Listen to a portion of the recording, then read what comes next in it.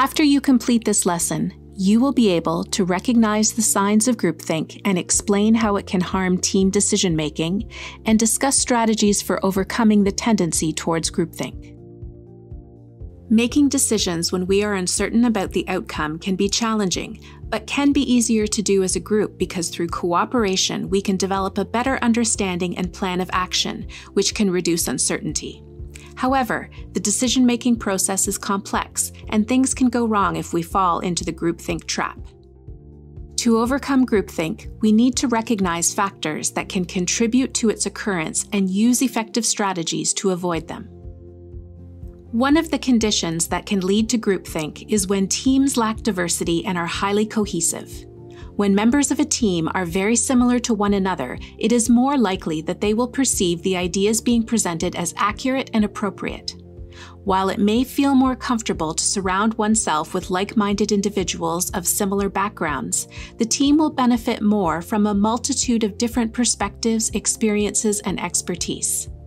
Therefore, the first step to overcome groupthink is to have a diverse team so that a wider range of views and ideas are available to help the team make decisions. And of course, all members need to welcome and be open to different approaches, opinions, and ideas. As such, it's important to make sure in the facilitation of group discussions that all members can ask questions and express their differing viewpoints and opinions. The next factor that can contribute to groupthink is the impact of key people and their leadership styles.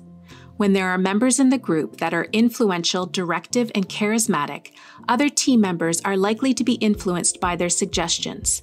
And this runs the risk of others polarizing around the influencer's position by agreeing to their ideas because they trust them and doing so without critically evaluating their suggestion and for those that may not share their views, they may feel inhibited to speak up. Therefore, the second step to overcoming groupthink is for leaders, experts, and other influential individuals to give other members of the team the opportunity to express their thoughts, ideas, and suggestions before they share their opinions or position on a topic. The third step to overcoming groupthink is to first gather all the available facts, thoughts, ideas, and options before making any decisions or attempting to come to a consensus. During the decision making process, individuals should not pressure their group members to conform. A great idea is to assign a rotating devil's advocate so that at each stage of the decision making process, one member of the team strategically challenges the ideas presented. It's important to note that challenging others' views and sharing differing perspectives should always be done respectfully with good intention and purpose.